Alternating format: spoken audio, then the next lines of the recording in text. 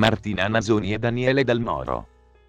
La verità di Martina Giovanna Abbate, Sara Shiny, Carlo Pietropoli e Daniele Dal Moro sono stati gli ultimi tronisti dell'ultima edizione di Uomini e Donne.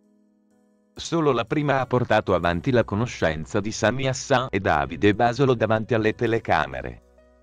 Attualmente è felicemente fidanzata con Sammy e probabilmente l'altro lo rivedremo a settembre. Sara ha scelto Sonny Di Meo, con il quale sta scoprendo di essere molto in sintonia. Per ora non considerano l'idea della convivenza, ma affronteranno la storia con il problema della distanza geografica. Carlo vive sotto lo stesso tetto con Cecilia Zagarrigo, colei che gli ha fatto battere il cuore dall'inizio del percorso. Per quanto riguarda Daniele, non si è presentato nello studio.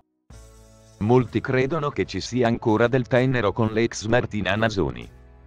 È arrivata subito la smentita di lei. Non stiamo insieme, ma ci vogliamo bene e la verità di Martina non ha stupito gli utenti social, dato che era evidente che si trattasse di un pettegolezzo infondato.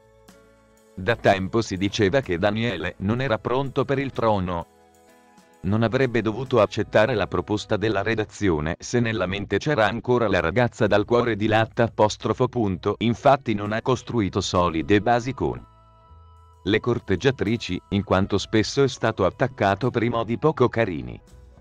Una volta, per esempio, ha portato una bilancia per chiedere alle pretendenti di mostrargli il peso.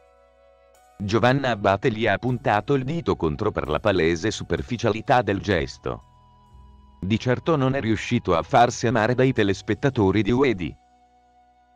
Con l'avvento della pandemia ha gettato la spugna e tanti hanno ipotizzato un ritorno di fiamma con Martina.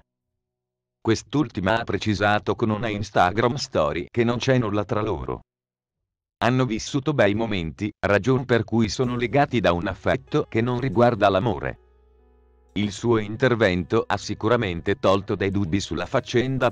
Nuova occasione per Daniele secondo fonti attendibili. Sembra che la redazione di UED abbia intenzione di dare una seconda possibilità all'ex concorrente del Grande Fratello. In effetti non ha avuto il tempo necessario per portare avanti delle frequentazioni. È stato onesto al punto tale da non prendere decisioni affrettate. Se l'estate non gli riserverà una bella